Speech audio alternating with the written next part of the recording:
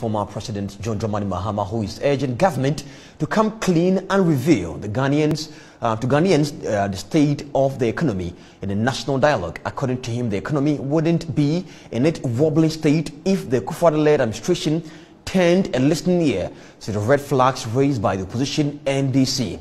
Journalists and CSOs across the country. He made this comment during a meeting with the newly elected executives of the Ghana Journalists Association.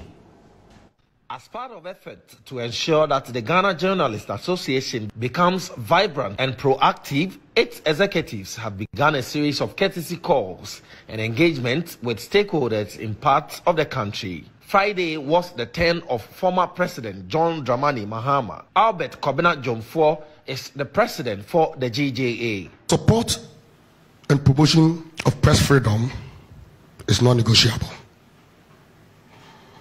You've been a guest of honor for our GJ Awards when you were the president.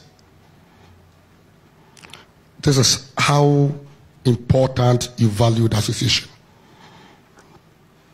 As a communication expert, we are here to share with you some of our key visions, some of our commitments so as to get your guidance, advice, and your support in achieving that. We can't do it all alone.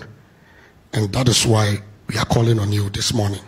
Former President John Dramani Mahama charged the association to begin a fresh campaign aimed at ensuring that killers of private investigator Ahmed Suale are brought to book, adding the recent harassment of journalists by the national security apparatus is unacceptable of course, one of your own paid the ultimate price, uh, Ahmed Suale and as at now, um, there still doesn't seem to be any movement in apprehending the people who assassinated him in such cold blood.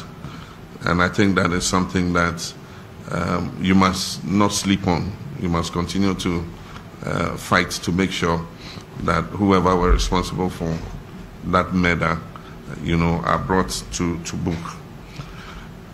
The current state of the media, you know, calls for concern. And um, if you just look at our current performance on the Press Freedom Index, it is very concerning that our performance has been so poor. The former president also took a swipe at government for running the country's economy into a ditch. In circumstances like this of national crisis, what you do is you rally the country together, you know, so that everybody comes on board to support us getting out of the crisis. Even at the time we were raising the red flag about the economy, they say, oh no, the economy is robust. It's robust. You know, if your ship is sinking and ships are passing by and saying, do you have any trouble? Can we help you? You say, no, no, no, economy is fine. you will sink. And that is what has happened. We've come to the reality of the situation. The GJA will be holding its annual award ceremony themed Working a Path Towards Ghana's Economy, the role of the media next month.